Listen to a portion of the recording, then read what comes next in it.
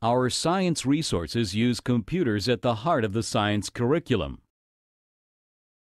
They include hardware for experiment-based investigations and software resources that inspire and engage students.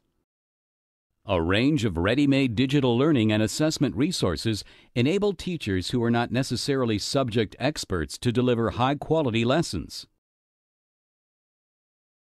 There are more than 150 science topics across all middle and high school science levels.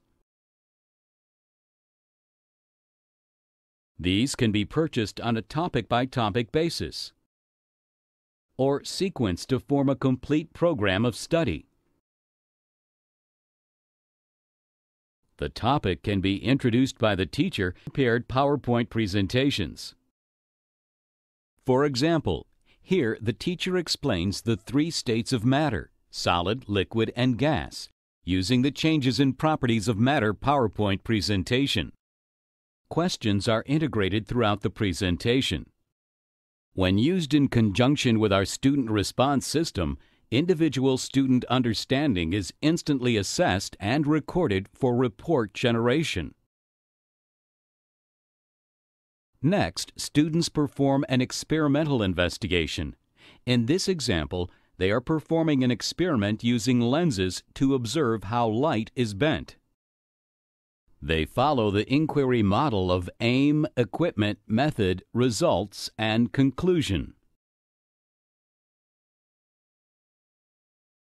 Questions throughout the experiment monitor the student's progress. They are prompted to complete an electronic portfolio, recording their results and explaining their conclusions.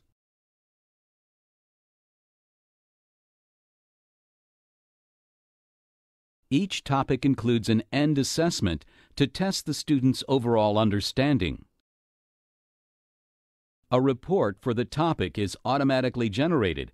A hard copy can be printed, or the report can be saved electronically. The management of equipment has been carefully considered.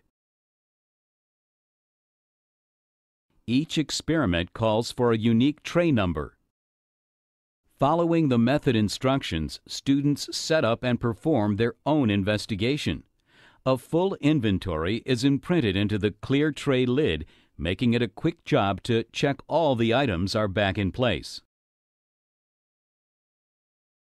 Many topics are enhanced using interactive software. Students perform experiments on screen and investigate scientific principles.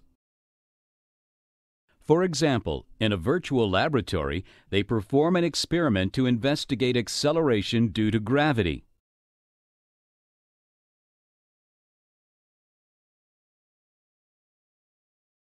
Here, the student is researching the tree of life and the classification system.